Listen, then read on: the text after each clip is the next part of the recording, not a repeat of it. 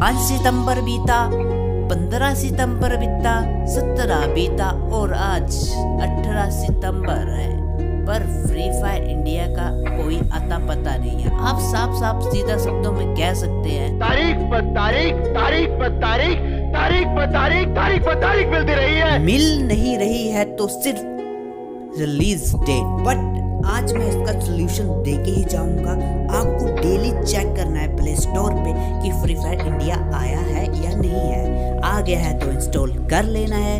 अगर नहीं आया है तो समझ लेना कि नहीं आया है। अगर आप यूट्यूबरों के चक्कर में पड़ोगे तो आपके साथ एक गंदा वाला खेल खेल रहे हैं कि आज आ गया डेट आज आ गया डेट भाई आज आ गया। पर इनके तो व्यू आ रहे हैं।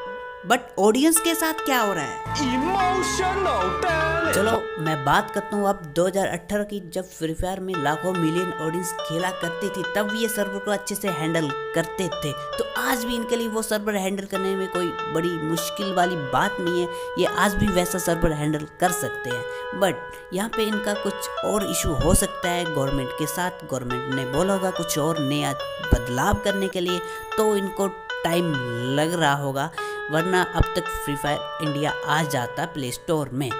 तो एक और बात करते हैं यहाँ पे कि आपकी आईडी जो पुरानी वाली बैन हो चुकी है, क्या वो वापस आएगी?